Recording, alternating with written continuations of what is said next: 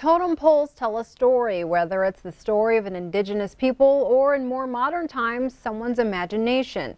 Either way, making them is a labor of love and true artistry. In this week's Montana Made, Justine Stewart takes us to the Bitterroot Valley where one man is bringing people's dreams to life.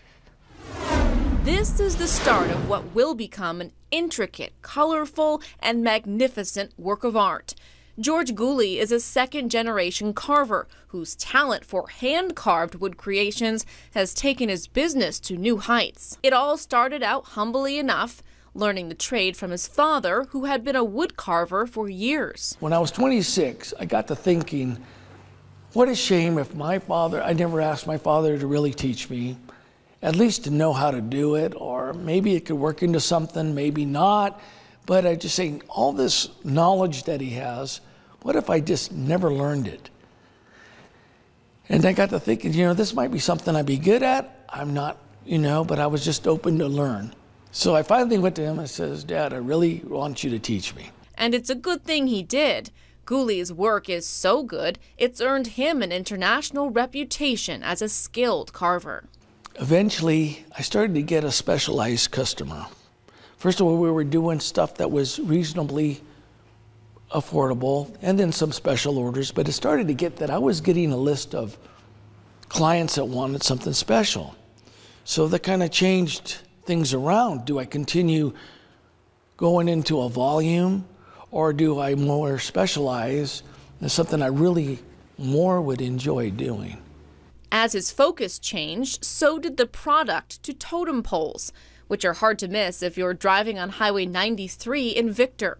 Hard at work in his studio, Gulli spends countless hours bringing his customers' dreams to life. I have a connection with my customers, and it's a, both a memorable experience for me as them. And we really, and I'll come here, we'll be talking, and we'll, and I really get to know them, what their interests are, things that they really would they have their imagination and they're looking for someone that could put this together. And so I'll do that for them. Which takes some time as there is a wait list, which can be anywhere from six months to a year. Less customers, but better work. Each piece is unique and you can't rush perfection. There's a lot of things to bring beauty to art and um, it's not just getting the detail, but it's bringing a feeling and meaning to it.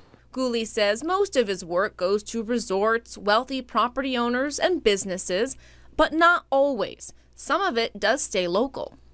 I'll get people from the Bitterroot Valley, and they'll be maybe into their senior years, and they go, You know, I've been putting this money away, and I'm getting at the end of my life. I'm like, What am I going to do? Wait till I'm 80 years old to spend it? You know?